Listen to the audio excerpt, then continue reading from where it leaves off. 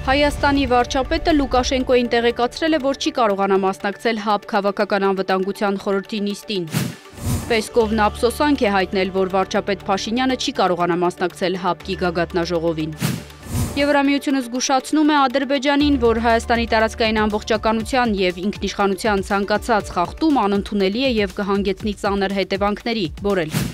Ադրբեջանը դատապարտել է Հայաստանին աջակցելու վերաբերյալ Բորելի հայտարարությունները։ ԵԱՏՄ-ից դուրս գալու նախաձեռնություն չկա, Արման Եղոյան։